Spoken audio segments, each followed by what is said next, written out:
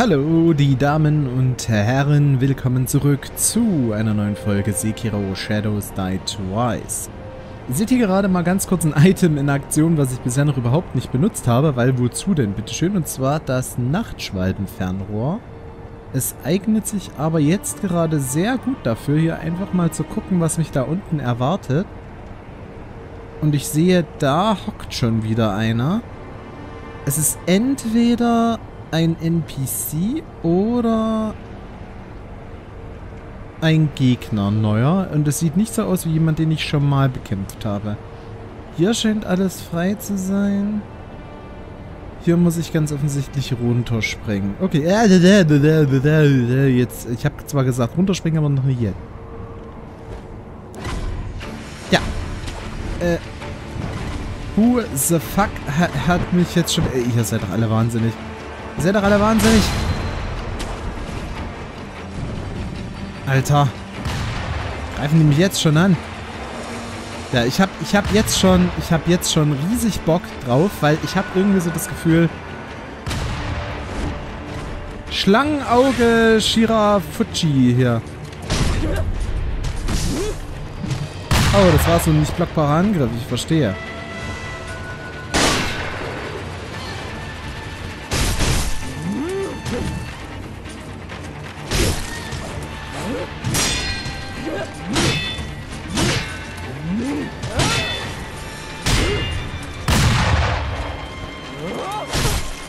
Wie gefällt dir das? Na, wie gefällt dir das, hä? Ich habe keine Haltung mehr. Oh. Ein Abgrund gesprungen. Alter, das ist aber auch eng dort.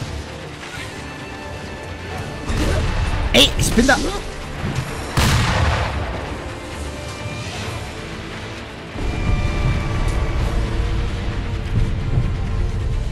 Geht sie weg? Geht sie nicht.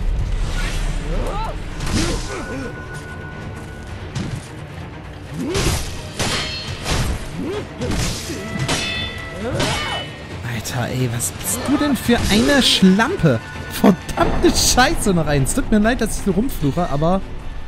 Ach ja, genau aus dem Grund habe ich letzte Woche nichts aufgenommen. Ja, tut mir nochmal leid, dass letzte Woche nichts gekommen ist, aber wirklich, ich war... Also jetzt momentan bin ich immer noch ein bisschen pissig, aber... Letzte Woche war ich wirklich komplett im Arsch, was Motivation anging. Und ihr seht hier auch, warum. Wartet mal, wenn ich jetzt mit Anlauf hier ranspringe, komme ich da vielleicht... Nein, komme ich nicht. Komme ich nicht. Ich sehe, ich sehe nämlich jetzt schon kommen, jedem, jedem dem die Bogenschützen aus Arno Londo ein Begriff sind, äh, der wird wissen, was ich hier jetzt schon wieder kommen sehe.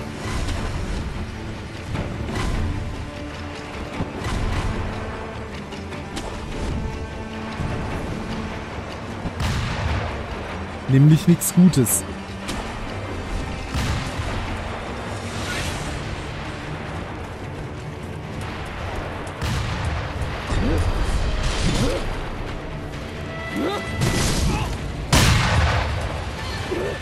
Nein, ah fuck ey. Okay, also Ishimonji dauert zu lange, da greift sie sofort an.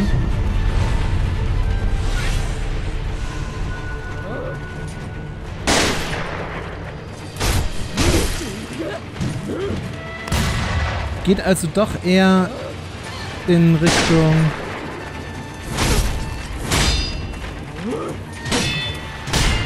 Haltung brechen.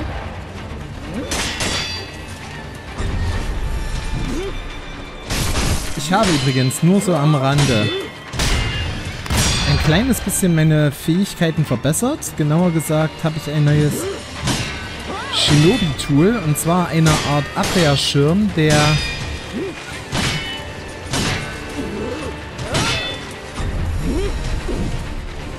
der praktisch Angriffe abhält. Ich weiß ehrlich gesagt allerdings gar nicht mehr, wo ich dieses Tool mal gefunden habe.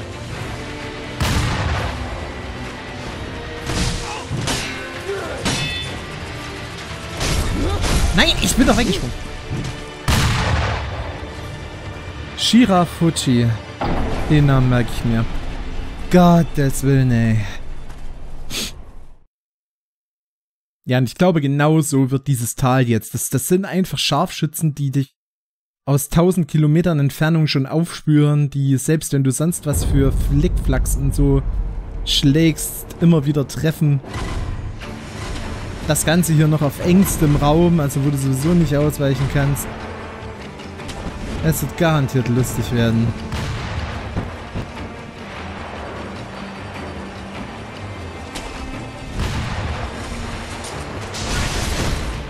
Hier, die scheint...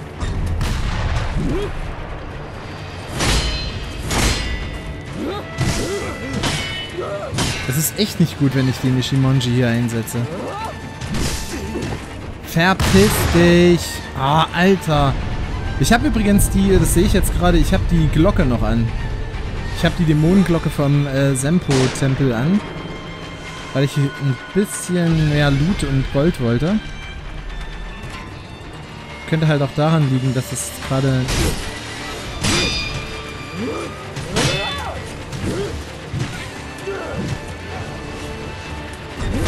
nicht so easy ist. Und sie nimmt aber auch kaum Schaden. Seht ihr das? Sekunde. Nein! Äh. Fuck. Also das heißt, das ist wieder so eine, wo du einfach nur... Sekunde. Das ist wieder einer... Oh, Moment. Kann ich die... Ich habe das Subimaru verbessert.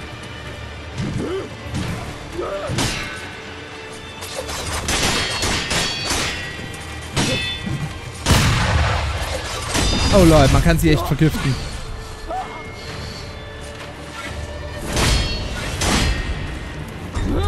Na, schade. Checkt das immer nicht, was sie macht.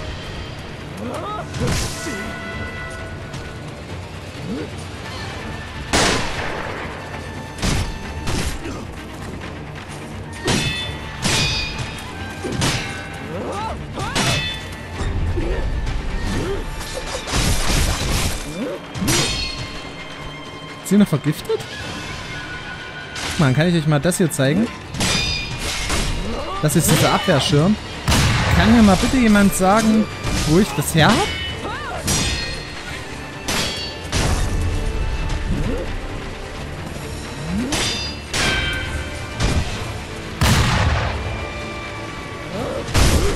Nein! Ah, oh, fuck, ich konnte mich nicht mehr bewegen. Also man kann sie vergiften, das wäre eine definitiv eine Variante, worauf ich gehen müsste. Eventuell, weil sie ist ja mit so komischem Sie hat ja nur Stoff an, sag ich mal. Könnte verbrennen noch eine Variante sein, aber das ist halt auch, ne.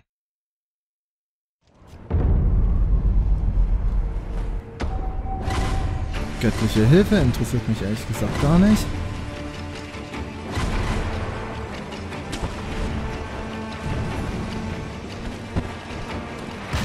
So.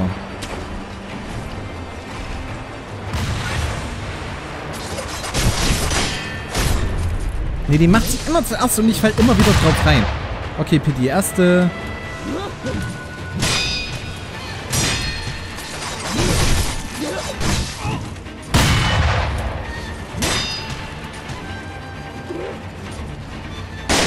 Erste Strategieänderung, sich nicht mehr von diesem komischen Grab-Angriff treffen lassen.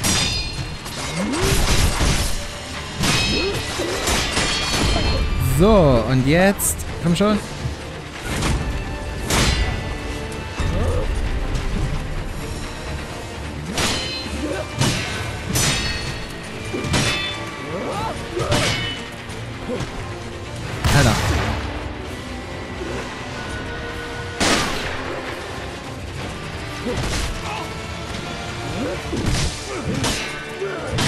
Dreimal geblockt, dreimal durch den Block durchgetroffen. Easy.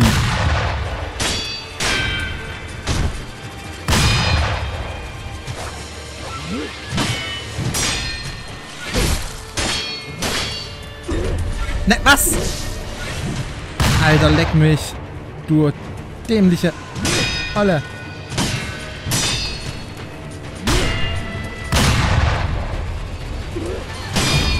So, das war der erste, aber halt leider auch nur der erste.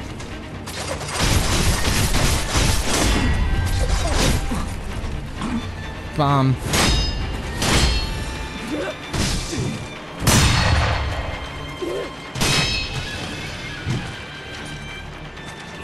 Bams. Ja, komm, komm, mach doch. Mach doch. Jetzt, danke.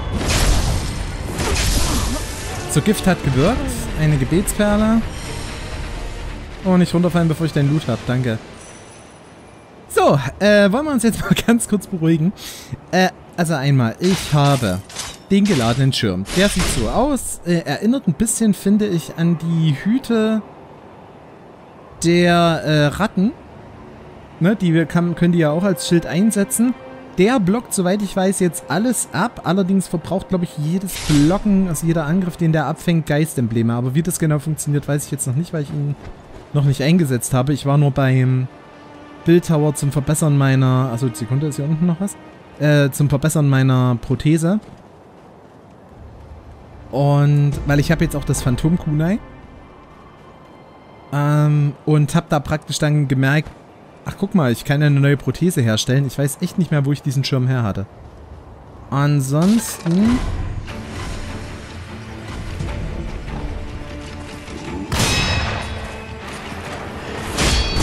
Alter! es ist einfach so lächerlich.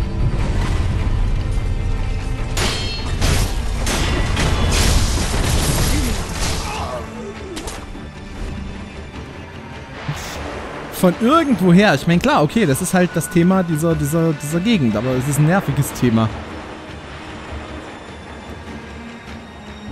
Dann habe ich freigeschalten die äh, Luftkampfkünste. Das bedeutet, ich kann jetzt zum Beispiel, Sekunde, ich zeig's euch gleich, den hier machen. So. Nee, das wollte ich nicht. Also hoch, also blockend hochspringen. Und dann diesen, na gut, man sieht es jetzt hier nicht in der Enge äh, den Ishimonji praktisch aus der Luft machen. In der Luft das anfangen und dann mich so mit dem Schwert auf Leute runterstützen. Ich muss, glaube ich, einen Run machen, oder?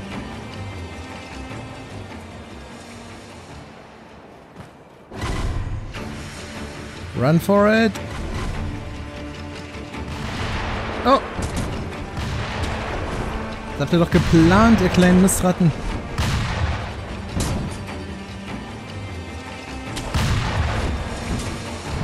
Na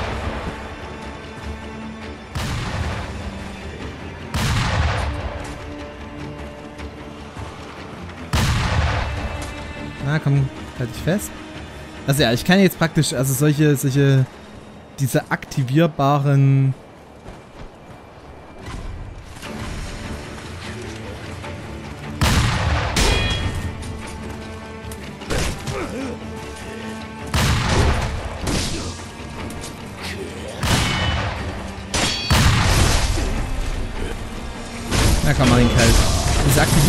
Kampffähigkeiten kann ich jetzt also auch in der Luft äh, benutzen. Und was mir das bringt, weiß ich noch nicht. ich habe es eigentlich nur gemacht auf dem Weg in diesen Shinobi-Fähigkeiten. Und kann ich das von hier aus zeigen oder brauche ich da eine... Ich brauche dazu erstmal eine Statue. Okay. Äh, da, damit ich praktisch auf diesem, auf diesem Skilltree ein bisschen weiterkomme, und die Kampffähigkeit einsetzen kann, die man dort bekommt. Hätte das jetzt irgendeinen Sinn, wenn ich hier unten nochmal ganz gut gucke?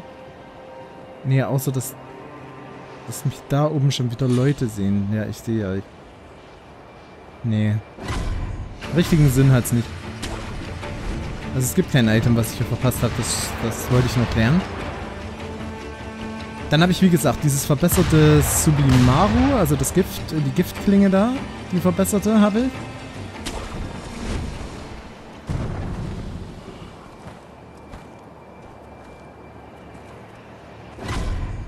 Kann ich hier... das hab ich auch noch nie gemacht.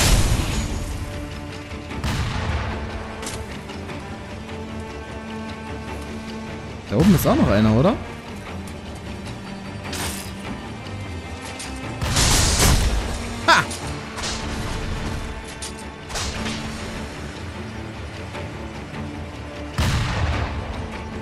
Ist das jetzt die Kanonenfestung schon?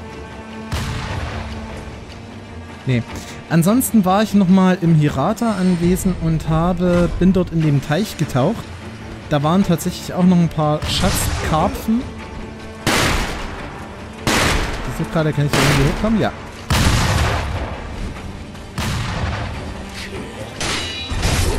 Komm schon. Ist da weg. Ich müsste hier nach und nach fertig machen.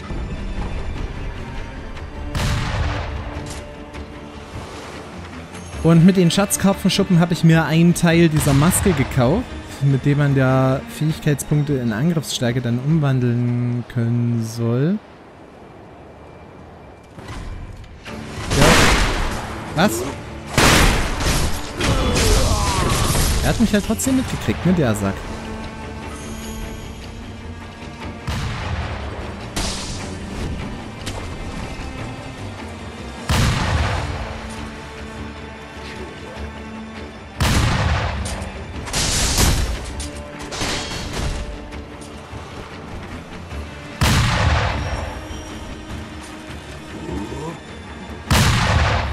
Jo.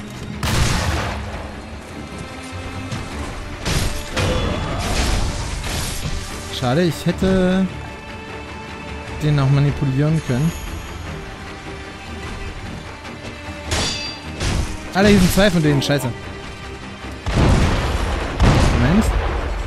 Dann machen wir jetzt einfach mal folgendes. Ich gehe jetzt erstmal mal weg hier. Und hoffe, dass die mich ganz schnell vergessen.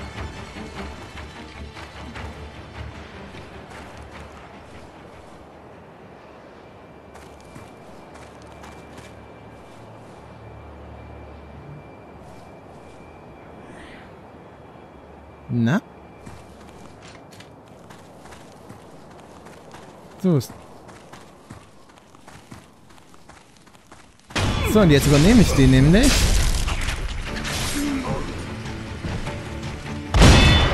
Du hast jetzt ein gewaltiges Problem.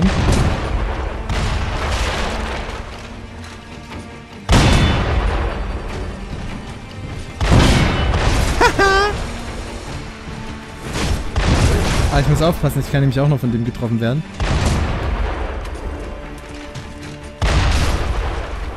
Batz.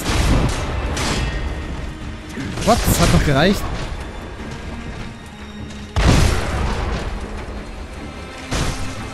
Na komm. So. Down.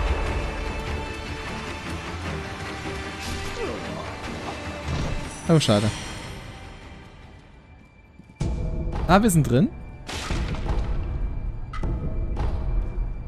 Ich habe nur noch eine Heilung, das ist nicht so geil.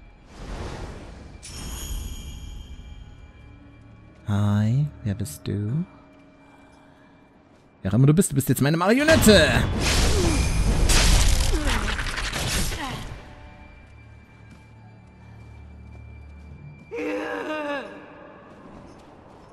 Ich glaube, was hatten die in der Hand?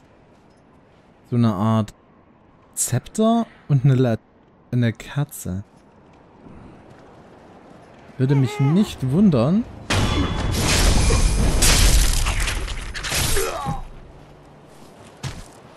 Wenn die Feuer speien könnte oder so. Okay, also hier scheint keiner mehr zu sein, sonst hätten, wären die ja irgendwie angesprungen. folgen die auch ein Stück, deswegen gucke ich mal weiter vor, ob hier noch Gegner sind, die die aufs Korn nehmen könnten.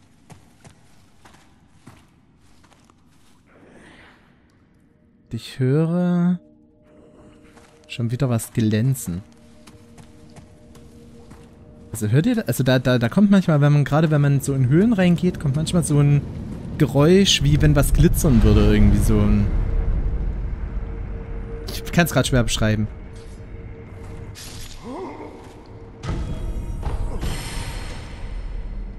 So, da unten sind Geistembleme. Allerdings äh, sind halt hier in der Dunkelheit immer auch, also oft zumindest auch diese, diese äh, Kopflosen. So, hier kann ich euch jetzt mal ganz kurz zeigen. Das hier habe ich äh, also mir freigeschalten. Flugkampfkunst. Ich habe übrigens im Dorf Mibu ein bisschen gefarmt und gelevelt. Ähm, ja, wie gesagt, ich kann Kampfkunst, Kampf, Kampf, Kampfkünste, so, Kampfkunstkünste wollte ich jetzt irgendwie gerade sagen. Ich weiß auch nicht, wie ich auf das Wort komme.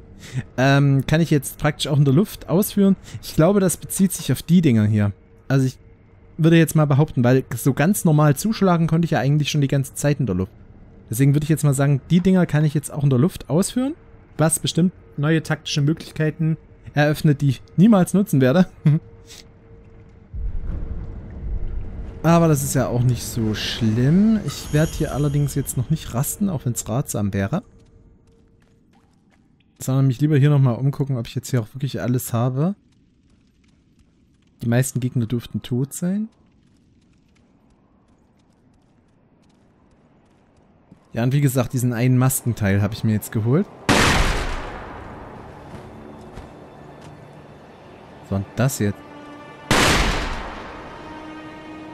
Ach, sind das? Ach, guck mal.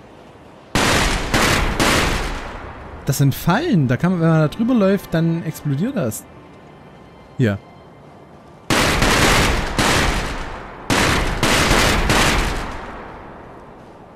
Ich glaube, wenn hier noch jemand am Leben wäre, hätte der das auch mitgekriegt. Oh, Sekunde, da unten ist was.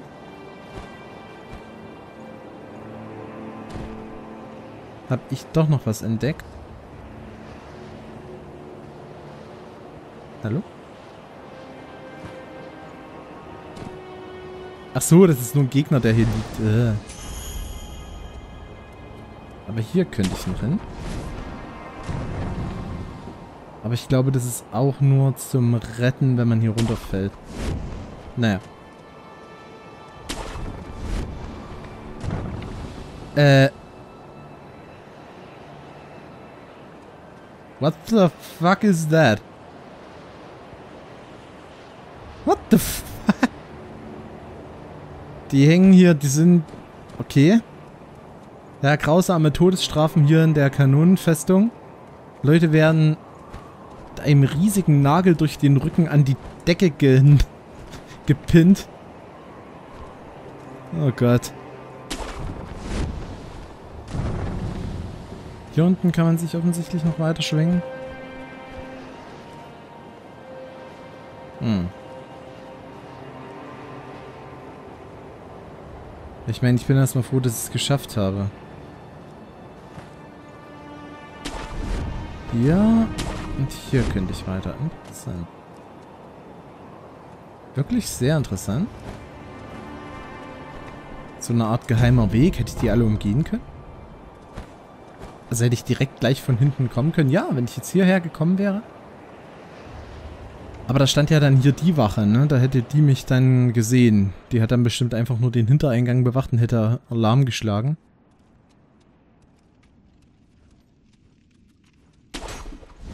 So, und hier ist wirklich nichts mehr. Auch hier oben nicht, da ganz oben.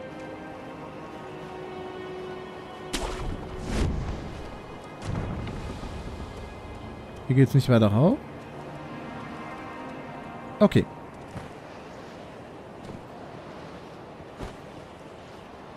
Ihr, was ich mich die ganze Zeit frage? Wer, wer sind die Typen eigentlich? Ich meine, oder genauer gesagt, wer ist hier überhaupt wer? Weil Kuro ist der Drachenerbe, aber der Drachenerbe scheint nicht der Anführer dieses Reiches hier zu sein, sondern der Drachenerbe scheint letzten Endes nur, ja, ich sag mal, vielleicht eine religiöse Bedeutung zu haben. Und Ishin ist der richtige Anführer, der politische Anführer, wenn man so will. Bin mir ziemlich sicher, ich könnte wahrscheinlich auch hier runterspringen und vielleicht wäre da dieser eine Kopflose, den wir schon mal gefunden haben. Den ich aber nur ungern machen möchte. Aber ich wag's jetzt mal. Nee, stattdessen raste ich, damit ich wieder volle Heilung habe. So, und diese ganzen Soldaten, die hier rumlaufen, gehören zu wem? Zu diesem Ministerium. Weil dieser eine Tenko hat ja gesagt, hier, das sind das, das Ministerium und seine Ratten. Und Genichiro hat ja auch irgendwie gesagt... Oh lol. Scheiße, wieder so einer.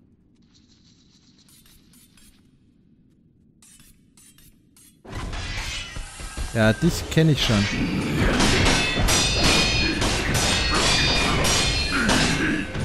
Bam. Bam.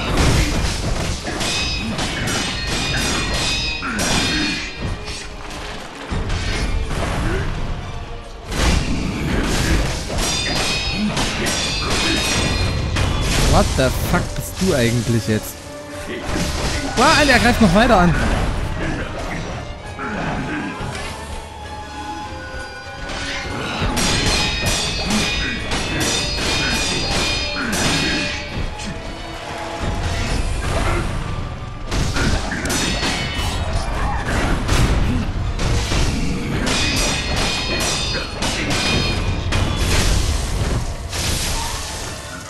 What the fuck war das für ein Vieh?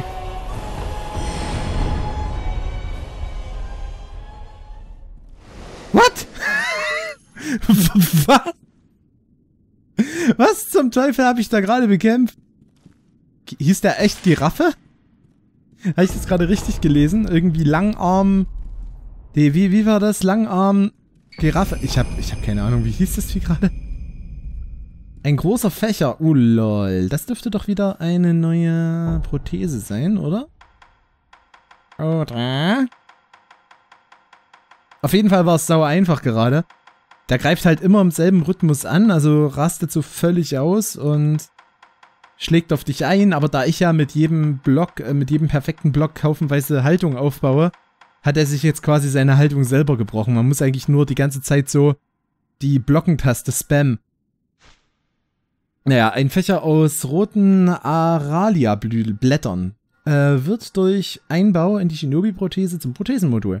Erzeugt einen Windwirbel, der jeden wegzaubert. Oh, das, äh, das, Freunde, brauche ich für, ähm, wie auch immer der Riese hieß. Ähm, ich weiß es nicht mehr. Egal, auf jeden Fall brauche brauch ich das Ding für eine Quest, das machen wir auch äh, gleich noch, ja. Wir haben ein bisschen, ein paar Minuten haben wir noch, da können wir das machen. Ähm, göttliche Entführung durch einen Fächer. Beim zweiten Mal bist du verloren. Wirst du entführt, geh zum Berg Kongo. Im Senpo-Tempel werden wir tugendhafte Taten vollbringen. Okay, ja genau. Also das, das ist praktisch das, das ist das, was er, was der meint. Was der Riese meinte. Das mit dem hier Shinobi können, können doch Leute wegzaubern, so hat er ja gesagt.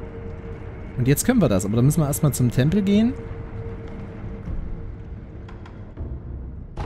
Uns das Ding einbauen lassen und dann können wir hier können wir das weitermachen. Der geht dann, soweit ich weiß, in die Halle der Illusionen, also wo die, wo die Affen waren. Und von da aus dann wieder wo ganz anders hin. Weiß es nicht mehr. Egal. ich habe das halt nachgelesen, weil ich habe keinen Bock hier selber rauszukriegen, wie die Quests gehen. Geht ja auch teilweise gar nicht. Yo. Ihm kann ich auch keinen Alkohol mehr geben. Ich müsste zwar noch welchen dabei haben, also habe ich hier wohl alle Dialogoptionen ausgeschöpft. Äh, wie auch immer. Shinobi-Prothese zeigen. Nee, nicht verbessern, herstellen. Kann ich hier was machen? Oh ja, ich kann das Ding hier verbessern. Geladener Schirm Magnet. Ein geladener Schirm mit einem magnetischen Mechanismus. Verbraucht Geistembleme. Schützt geöffnet vor Angriffen aus allen Richtungen. Strecke ihn beim Bewegen zum Schutz vor leichten Angriffen aus. Der magnetische Schaft macht ihn nahezu unzerstörbar. Feindliche Angriffe werden durch das Drehen des Schirms abgewehrt. Also eigentlich nur der stärkere... Ja, stärkere Schirm. Wahrscheinlich, der ein bisschen mehr abhält. Das hier könnte ich theoretisch machen, wenn ich die Kohle dazu hätte. Okinagas Flammenrohr. Äh, ja, da hast du einen kontinuierlichen, also das ist dann praktisch ein richtiger Flammenwerfer. Da hast du so einen kontinuierlichen Flammenschwall. Vorausgesetzt, man kann den aufrechterhalten, würde ich mal sagen. Das hier ist interessant. Hier hinten hast du dann noch so heilige Geschichten. Lazulid Axt, Lazulid Subimaru und so weiter. Das wirkt dann halt auch auf Erscheinungen, habe ich mir durchgelesen. Also, ja, müssten wir mal gucken. Ja, wir wollen das hier herstellen. Das ist halt auch die Tatsache, dass man halt so Shinobi-Prothesen, die halt gegen diese Erscheinungen wirken und so erst später herstellen kann, lässt mich glauben, dass diese Kopflosen vielleicht erst später eine Rolle spielen. Was ich mir da allerdings auch noch vorstellen kann, ist, in, ähm, das ist jetzt ein kleiner Spoiler für Leute, die das nicht hören wollen, also nicht zur Story oder so, aber, ähm, ja, zu etwas, zu einer Mechanik in Dark Souls 2 da kann man im Laufe des Spiels, äh, wo waren wir jetzt nochmal? Ich glaube ganz am Anfang, ne? Ähm, da kann man auf König Vendrick treffen, der dort eine Rolle spielt in der Geschichte. Und der hat eine gigantische Lebensleiste. Und man kann allerdings im ganzen Spiel Riesen finden. Und wenn man die tötet, kriegt man eine Riesenseele. Und das Ding ist, die Riesenseele könnte man einfach verkaufen für riesig äh, viele Seelen, also die Währung in Dark Souls, ne? Oder aber man behält die einfach im Inventar. Denn das Ding ist, je mehr von diesen Riesenseelen man im Inventar hat, desto weniger äh, Abwehr hat Vendrick dann, hat dieser Boss, dieser spezielle Boss. Und er hat wirklich eine ellenlange Lebensleiste. Hier war kein Gegner, ne? Äh, der hat wirklich eine ellenlange Lebensleiste. Der Drache ist immer noch da oben. Hi.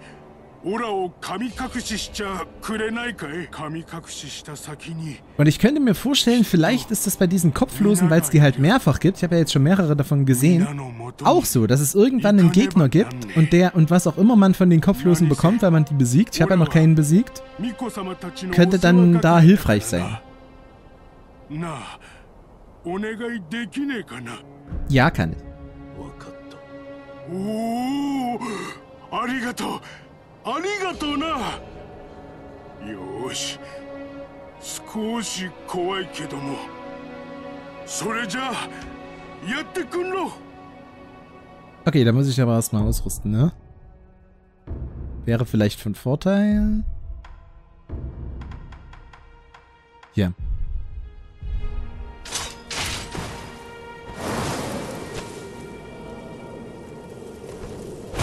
Genau. Tschüss. Sah aber schön aus. Funktioniert das jetzt auch bei anderen Gegnern? Wartet mal. Hier unten war doch ein Mönch, ne? Hi. Ist auch entführt werden?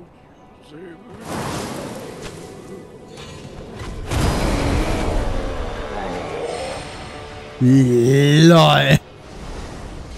Das ist einfach mal ein Insta-Kill. Oder? Oder ist der jetzt auch da? Ey, ich kann Leute verschwinden lassen. Das ist ja geil. Ich bin der große Houdini. Äh. das ist ja voll geil. Ja, Sekiro äh, Copperfield ab jetzt für euch.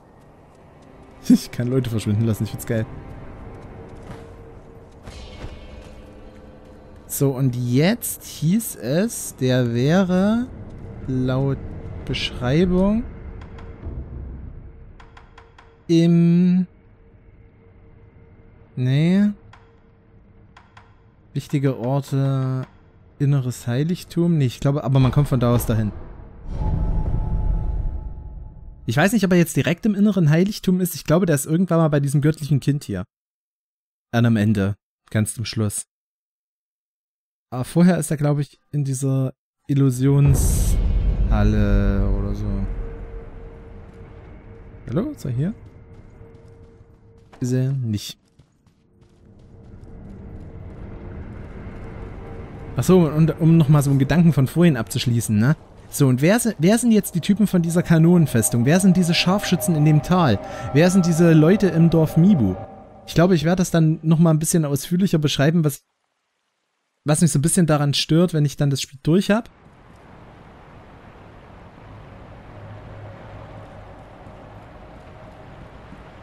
Aber ich finde das halt so ein kleines bisschen seltsam, dass das Spiel auf der einen Seite an bestimmten ähm, Stellen dir relativ deutlich sagt, was los ist. Und an anderer Stelle, ähm, ja, sagt es dir halt überhaupt nichts, obwohl du es vielleicht gerne wissen würdest. Versteht ihr, was ich meine? Also was so mit diesen Drachenerben und so los ist und mit der Unsterblichkeit? Das da, oh jetzt klingt das Telefon, aber es ist so ähnlich für mich. Eine bloße Flamme im Wind. Wenn sie erlischt, wird der Ort dunkel wie eine Nacht. Ja, das waren so ein paar Tricks, die man hier anwenden konnte. Also hier ist es halt, wenn man die Tür da aufmacht, dann wird es hier halt saudunkel drin. Da ist dann der Affe, der da nichts sehen, sondern nur hören kann, aufgeschmissen und so. Aber irgendwo hier muss der Typ sein. Ich weiß aber nicht, ob man vorher vielleicht nochmal ruhen muss. Wenn nicht, beende ich jetzt einfach die Folge und gucke nochmal nach. War der hier? Hört ihr, da, hört ihr das? Wenn, immer dann, wenn ich in die Dunkelheit gehe, jetzt nur noch mal ganz kurz, ne? Immer dann, so hier ist jetzt hell. Wenn ich in die Dunkelheit gehe, hört man nur dieses kurze Bling. Ja, wie auch immer. Ich glaube, da aktiviert er dann hier seine krassen Nachtaugen. Wenn man genau hinguckt, sieht man nämlich, dass seine Augen leuchten in der Dunkelheit.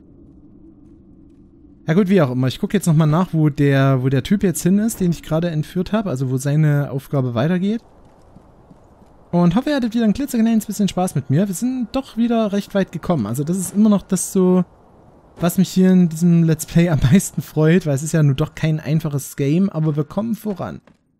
Wir kommen ordentlich voran und es ist, würde ich sagen, viel wert. Lasst mir bitte noch eine nette Bewertung da oder einen Kommentar.